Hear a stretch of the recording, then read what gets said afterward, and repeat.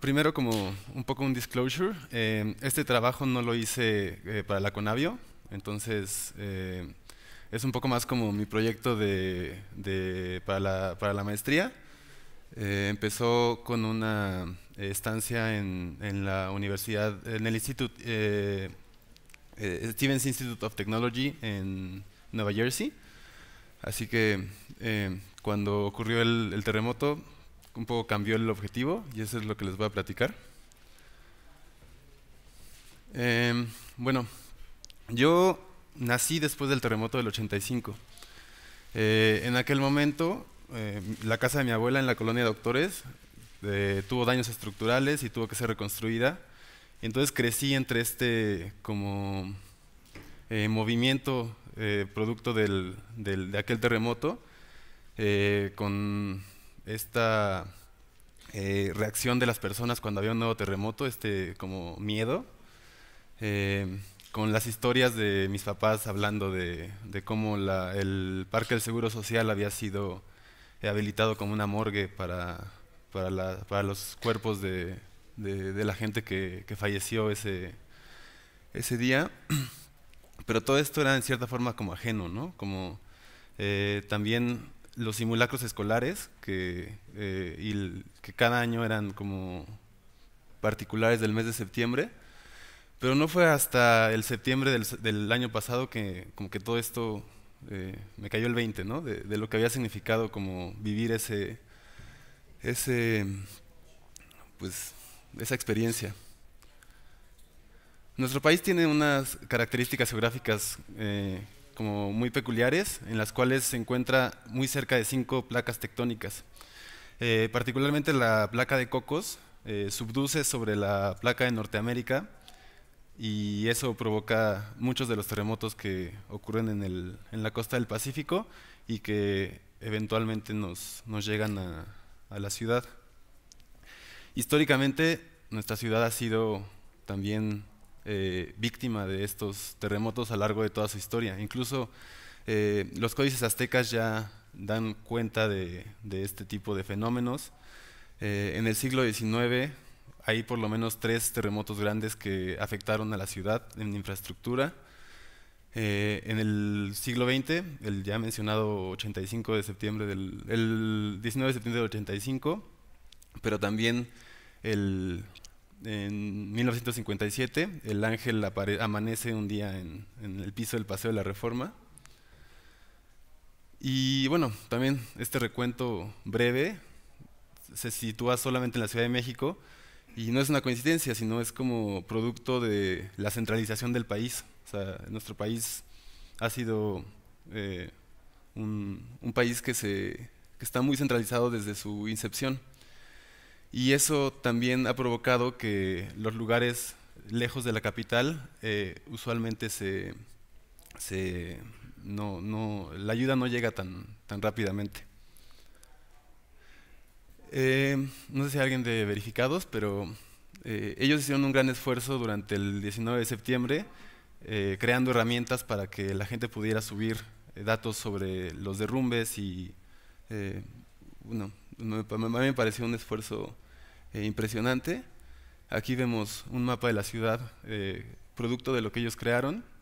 Eh, estos datos, pues, creo que al final los hicieron libres, no estoy seguro.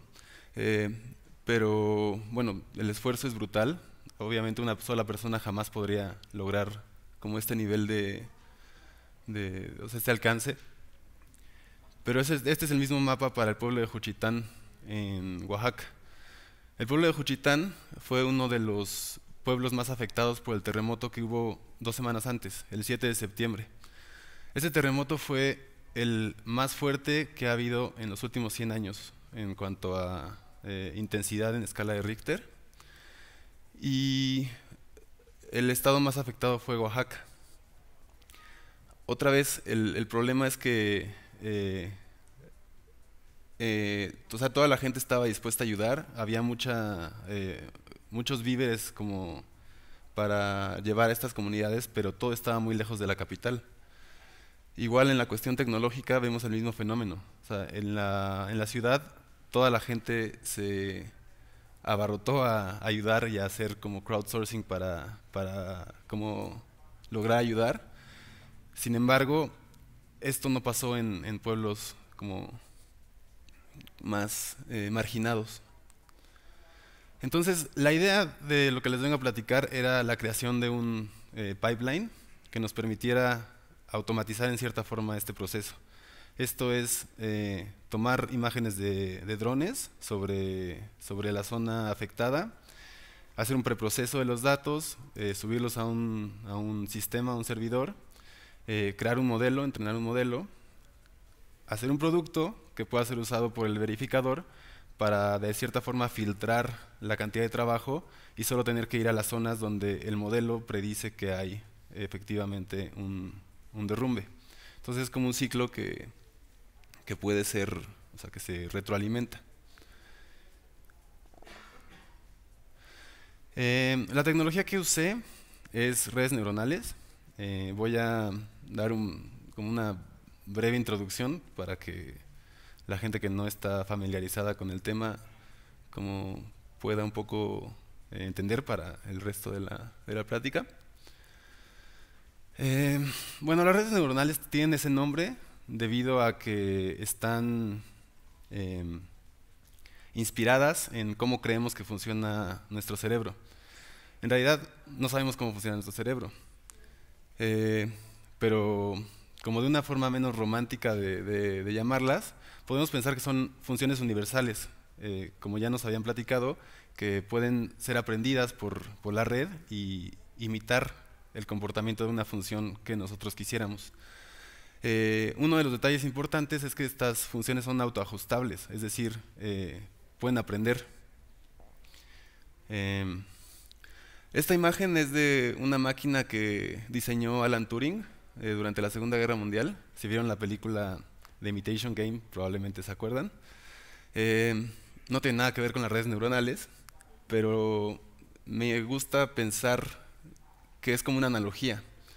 O sea, es una máquina que la red neuronal es una máquina que tiene cierta entrada y cierta salida y tiene perillas que se pueden ajustar. Entonces, cada neurona, que son como las, los componentes de la red neuronal, eh, tiene valores que se pueden ajustar y eventualmente si cuidadosamente em, em, se me fue la palabra eh, ajustamos la, la máquina para eh, una tarea específica, podemos hacer que se comporte como nosotros queramos. La ventaja es que las redes neuronales no necesitan, hacer, no necesitan ese ajuste, sino que con datos de entrenamiento y con datos de, resultados, o sea, como el, el, conjunto de entrada y salida, podemos decirle a la máquina que aprenda por sí misma a comportarse como queramos. Esto es un proceso que tiene que ver con, con eh, con la, con la regla de la cadena. Eh, básicamente la, red neuronal es una función derivable y lo que estamos haciendo es optimizar sobre la misma, así en un, en un proceso que se llama backpropagation. Y bueno, desde los detalles matemáticos son interesantes, pero no, no voy a platicar de ellos.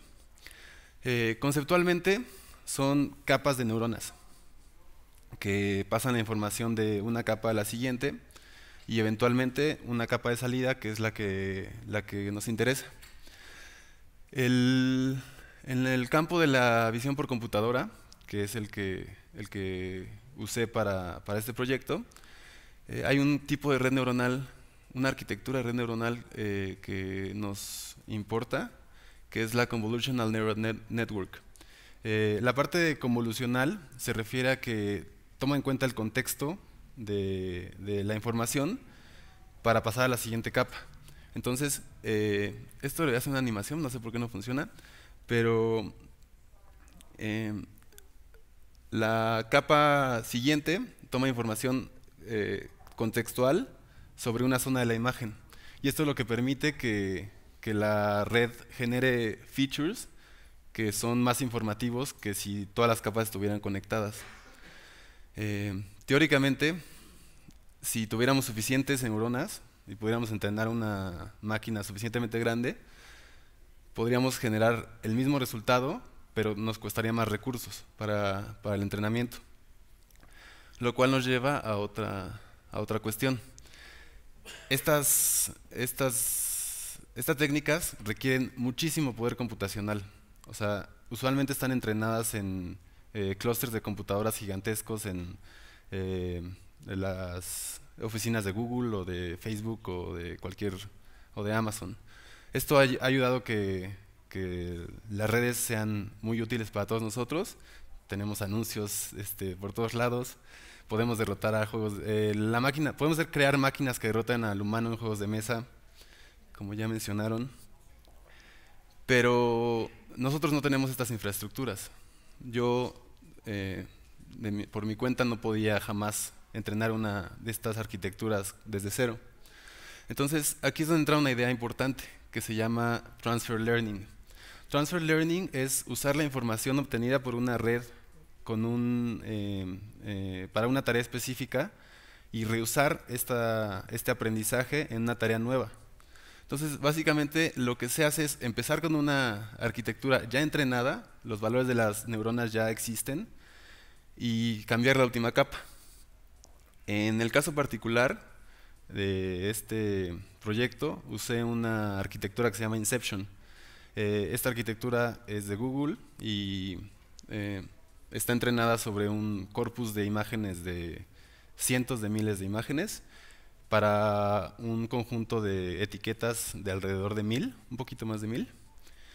Y bueno, entonces significa que la, que la capa de salida tiene mil neuronas y cuando se activan significa que la red piensa que en la imagen encuentra esta categoría.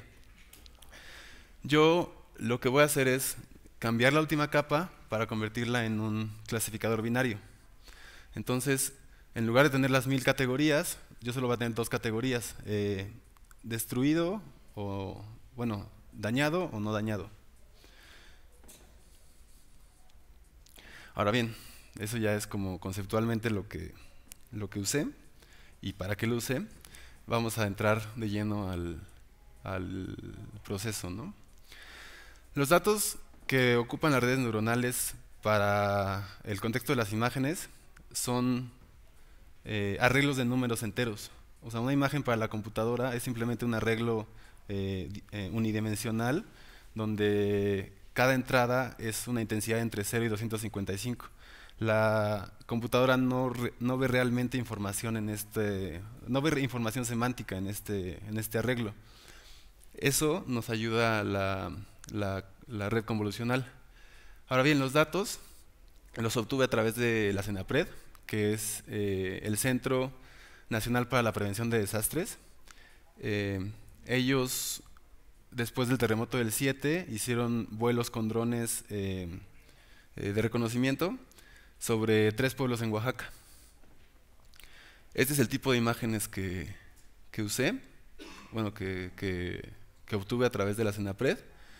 Si vemos en esta imagen, en la parte inferior vemos cómo se ve más o menos un, un, sitio con, daño. Y esta es la cantidad de imágenes que obtuve. Eh, son en total 3.733 imágenes. Los pueblos son Juchitán de Zaragoza, eh, Santa María y Unión Hidalgo. Entonces, desde aquí vemos que, hay cierto como desbalanceo entre la cantidad de imágenes.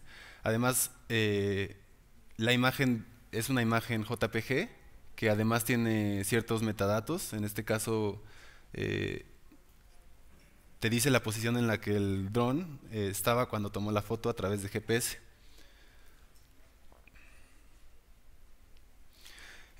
Bueno, lo primero que me di cuenta era que era muy difícil manejar esta cantidad de imágenes a mano, ¿no? O sea, como tener un, un sistema de archivos y verlas una por una era imposible. Entonces lo primero que hice fue desarrollar un sistema que me permitiera eh, manejar las imágenes y como, como, crear un sistema de inventario. Entonces, el sistema básicamente es un catálogo entre la información de los metadatos que tiene las imágenes y las imágenes en sí en su eh, eh, la dirección física en el sistema de archivos. Los archivos son descargados de un FTP de la CENAPRED y después se ingesta en este sistema que hace eh, un mapeo uno a uno entre la base de datos y el sistema de archivos. Entonces después yo puedo eh, saber, por ejemplo, las imágenes de Juchitán haciendo un query en una, en una base SQL, lo cual es conveniente.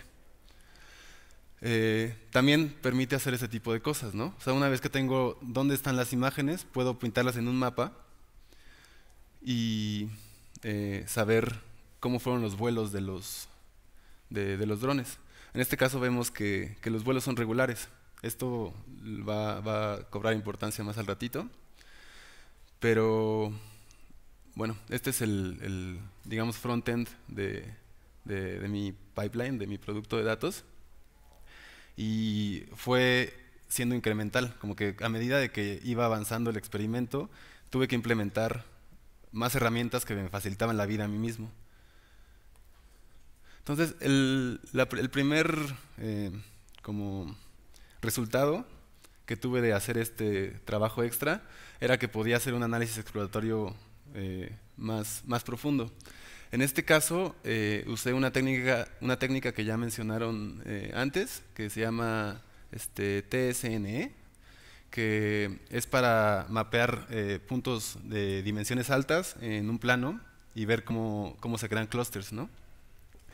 En este caso no podía mapear directamente los píxeles porque es, es muy grande, entonces lo que hice fue generar eh, features de los píxeles muy simples, como eh, la, media de cada, de cada banda de color, rojo, verde, azul, y, eh, la desviación estándar. Entonces lo que obtuve son por cada imagen un vector de, seis dimensiones, y eso le apliqué esta técnica.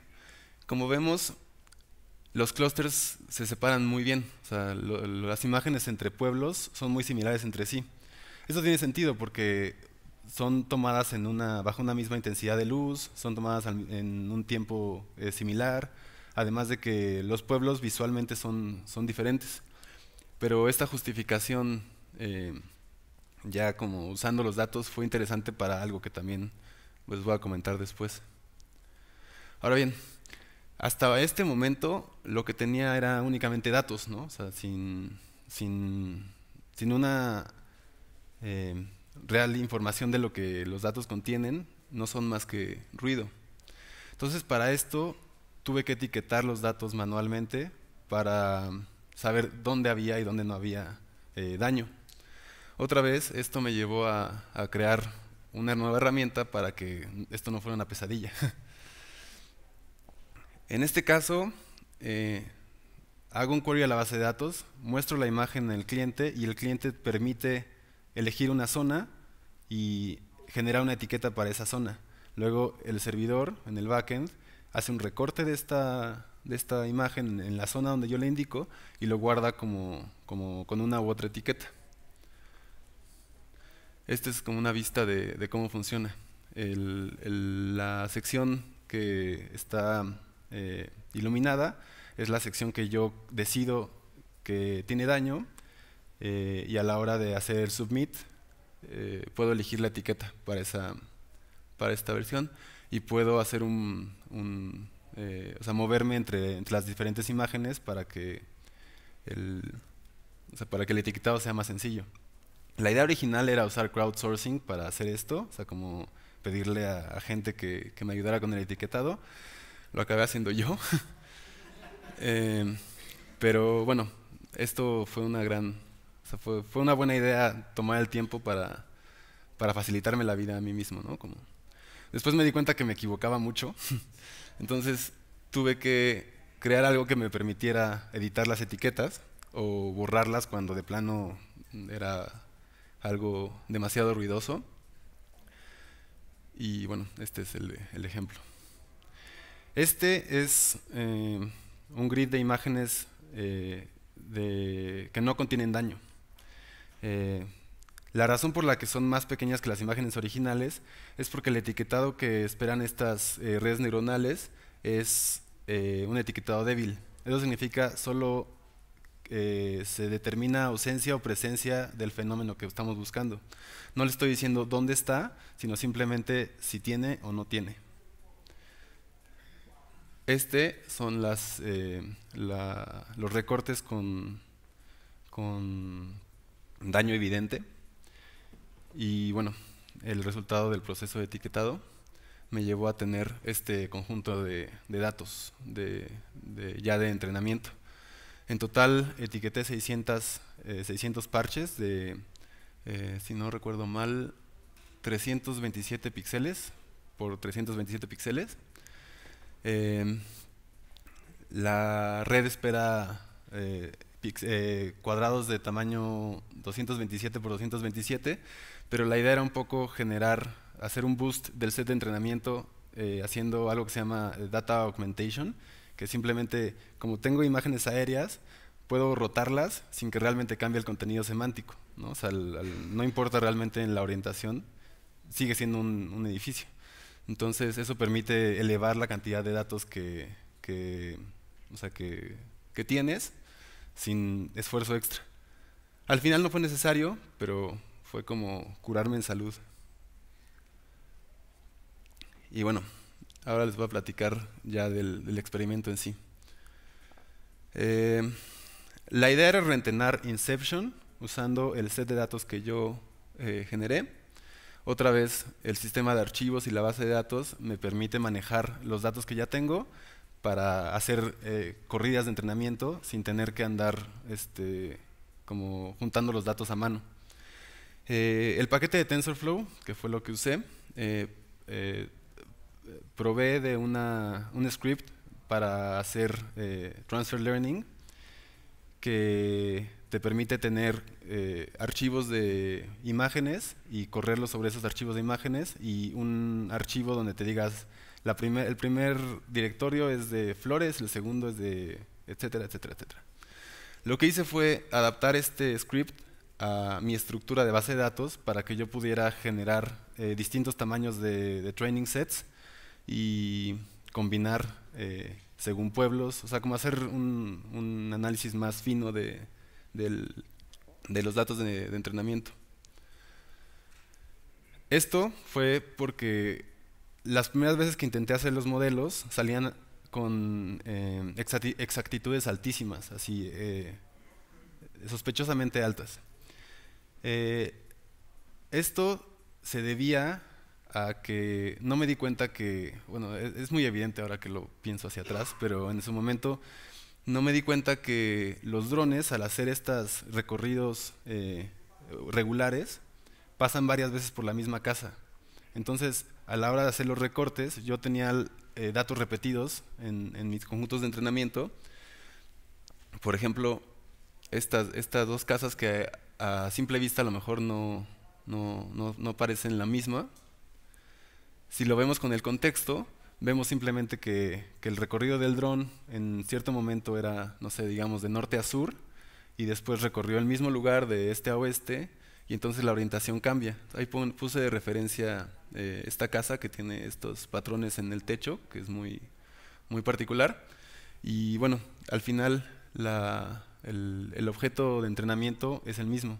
Entonces, si por azar, en la forma en la que creo el, el, este, el conjunto de entrenamiento eh, por, por, sampleo, eh, puede ser el caso de que mi, mismo, mi misma casa quede tanto en el conjunto de entrenamiento como en el conjunto de prueba. Y esto hace que para el modelo sea muy sencillo atinarle. Entonces, eh, la forma de corregir este error fue crear un, una metodología de validación específica para este problema. Eh, en este caso, como los algoritmos de, Deep Learning eh, requieren de, tres conjuntos, eh, entrenamiento, validación y prueba, el conjunto de entrenamiento es lo que ocurre en cualquier otro método de, Machine Learning. La validación le sirve al modelo para que durante el entrenamiento sepa que también está, está eh, siendo entrenado. Y la prueba es lo clásico. Al final, ya cuando tengo el modelo entrenado, veo cómo se comporta con datos que nunca ha visto. Entonces, en vez de usar el clásico 80-20 para dividir datos de entrenamiento y prueba, lo que hice fue separar por, por, pueblos. De esta forma aseguraba que los datos de validación nunca iban a estar repetidos con los datos de prueba y estos nunca iban a estar repetidos con los datos de entrenamiento. Y para que esto fuera consistente, hice el experimento para cada permutación posible de, los tres pueblos. Adicionalmente, eh, teniendo las 200 imágenes disponibles, es decir, no daño y daño para cada pueblo, intenté entrenar el modelo usando una menor cantidad de datos.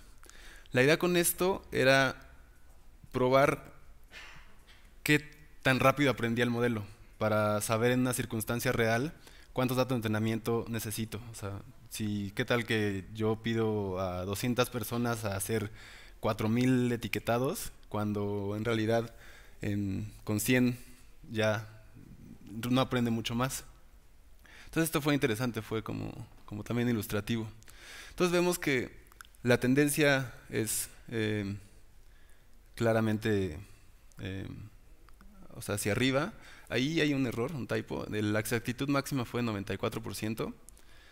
Eh, el resultado del experimento fue muy bueno, aunque ya después platicando con, otros colegas, entendí que la forma en la que yo dividí los conjuntos de, entrenamiento de forma que fuera muy, eh, o sea, que fuera dividido exacto 50-50, no tiene que ver con lo que encuentra en la realidad, porque en la realidad los edificios con daño son muy pocos.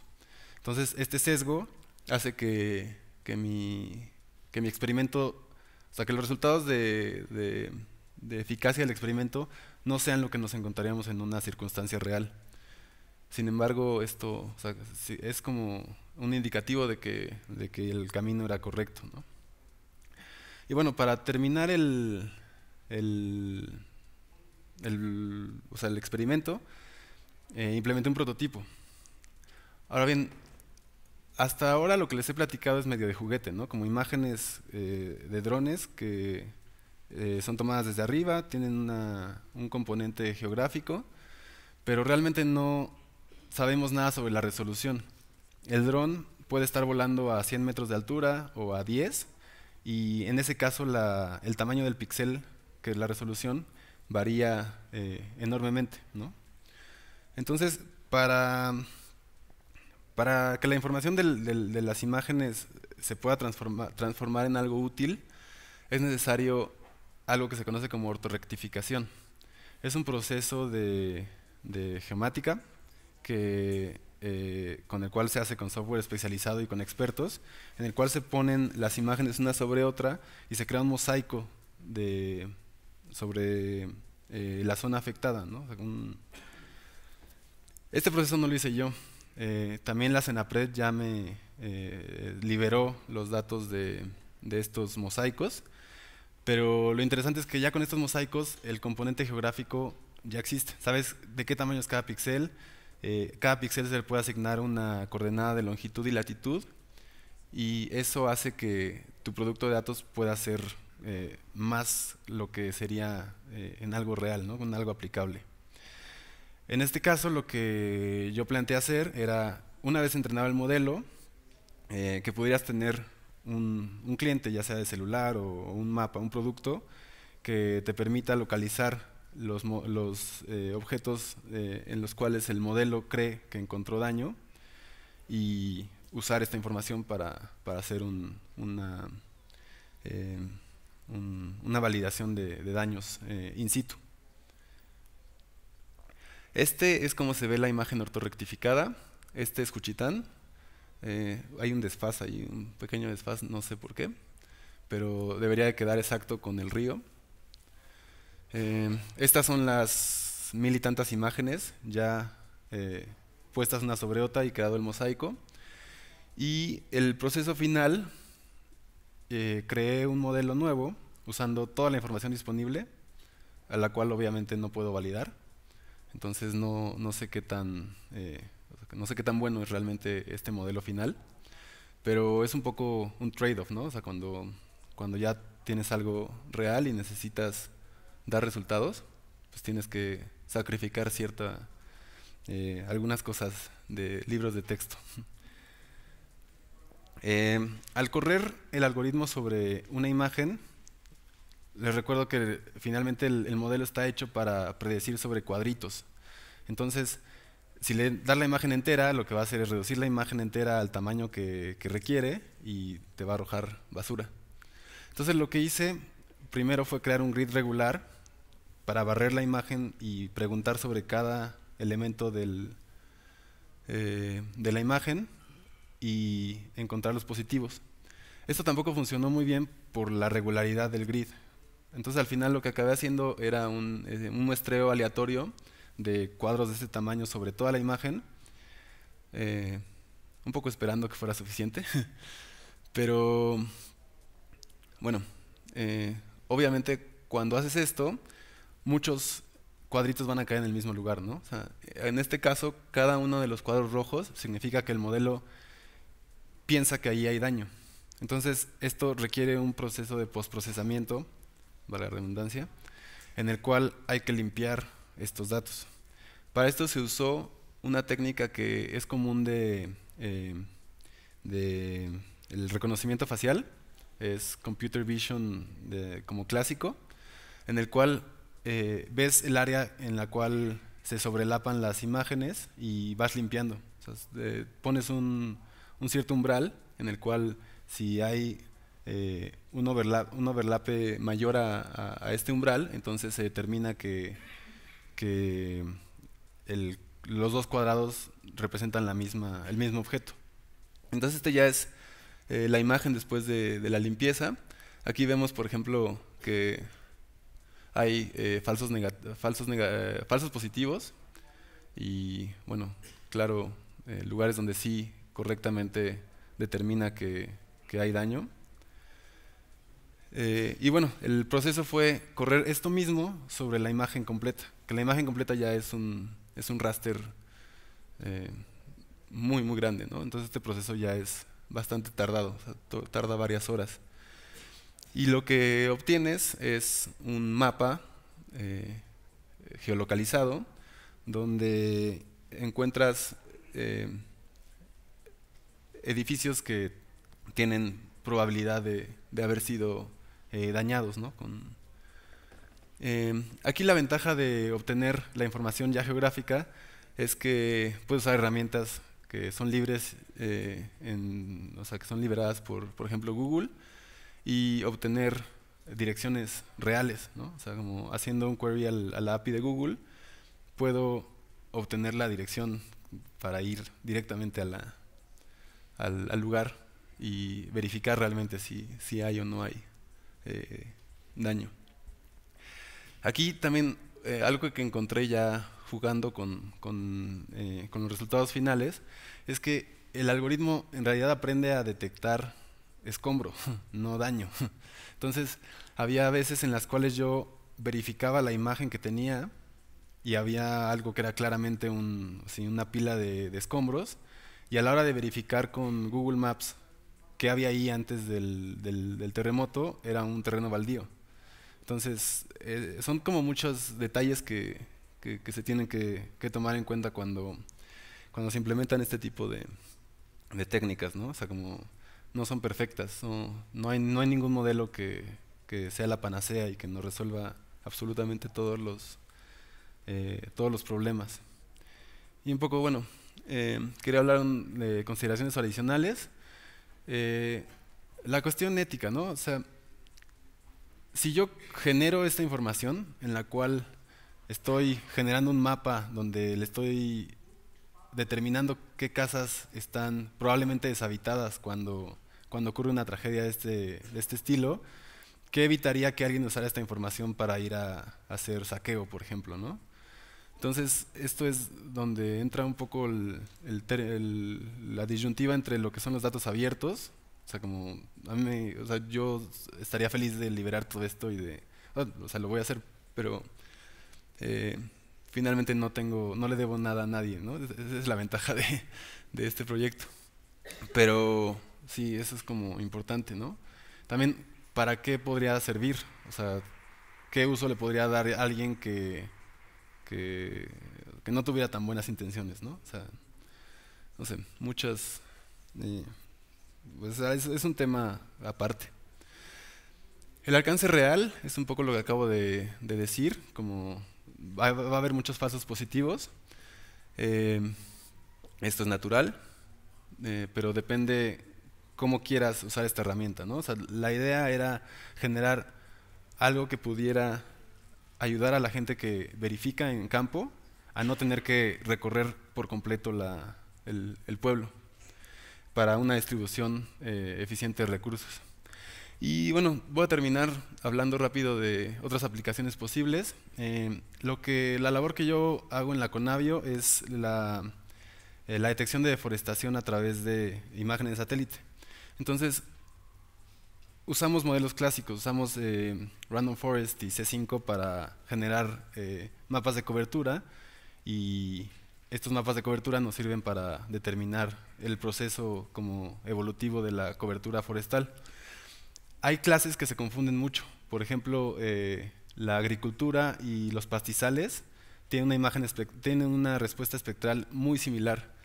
Entonces, creo que usando este mismo, esta misma idea, podría detectar patrones eh, como geométricos que diferencien a lo que sería un, campo y, eh, y, permitan hacer una clasificación más fina y, y no tener estas, estas confusiones. Muchas gracias.